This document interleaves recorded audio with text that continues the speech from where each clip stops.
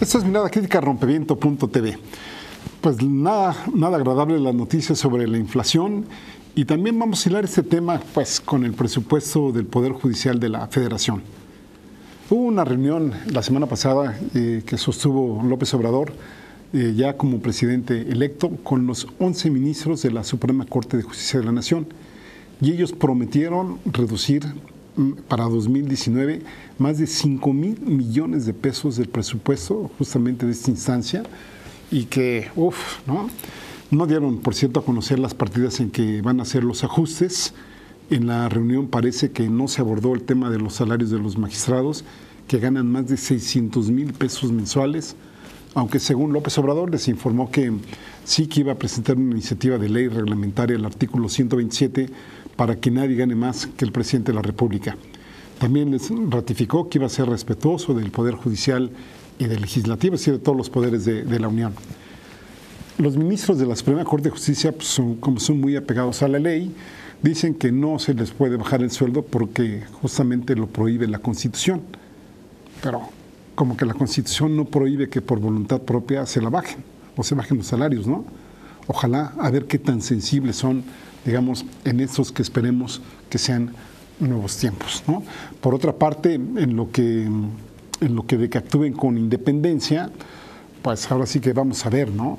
Se ve difícil, se ve difícil porque pues hay que ser sinceros, prácticamente pues todo, cualquier persona que llega a ser ministro es propuesto por un presidente, obviamente después de ser ratificado, etcétera, pero pues que en términos generales le deben ese favor a algunos personajes para poder llegar ahí y en consecuencia, bueno, nada más habría que ver históricamente la actuación de los, de los jueces y actúan en su gran mayoría o por, en términos generales bajo consignas o en una cadena de pago de favores.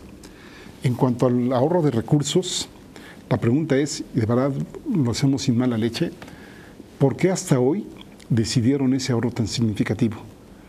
¿No podrían haber ahorrado esos 5 mil millones de pesos desde mucho tiempo atrás y haber sido canalizados estos recursos hacia otras áreas?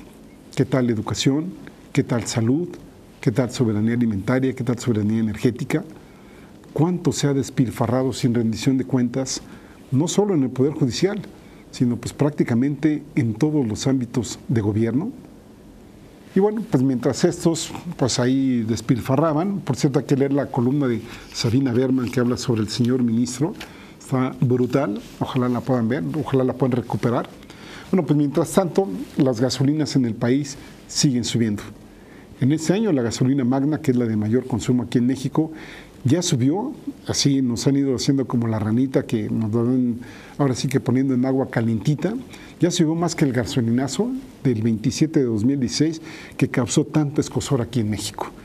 En aquel entonces, 27 de diciembre de del 2016, la subieron de 13.98 a 15.99 pesos por litro, sin aumento de 2 pesos con un centavos, que representaba 14.3%. Bueno, del 1 de enero a julio de 2018 pasó de 16.28 a 18.66 pesos.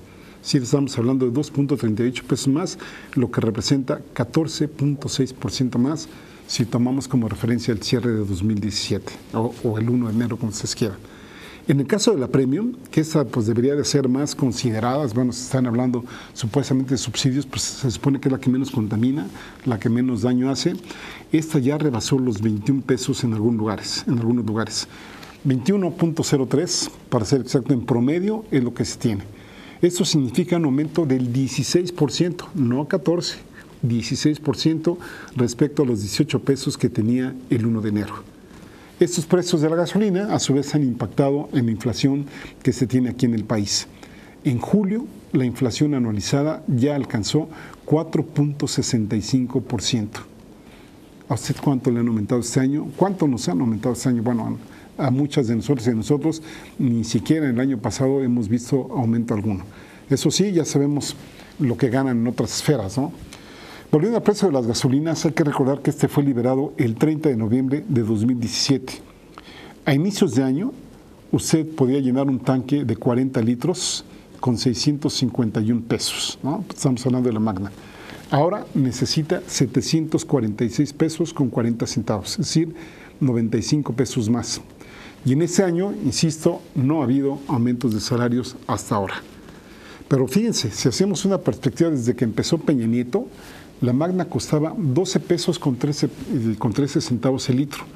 Ahora nos cuesta, como decíamos, 18.66, un aumento de casi, de casi 54% en promedio.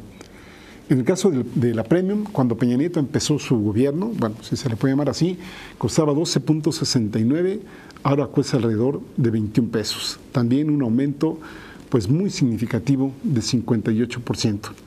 Para llenar un tanque de 40 litros con Premium, al inicio de la gestión de Peña usted necesitaba 507 pesos con 60 centavos, ahora necesita 806 pesos con 80 centavos, es decir, 299 pesos más.